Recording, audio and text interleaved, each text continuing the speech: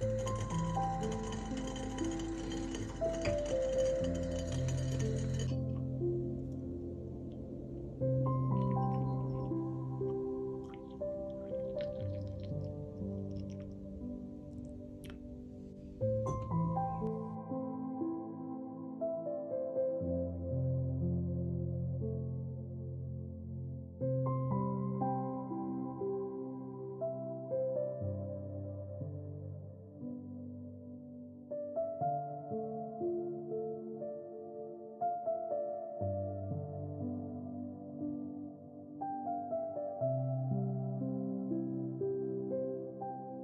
Thank you.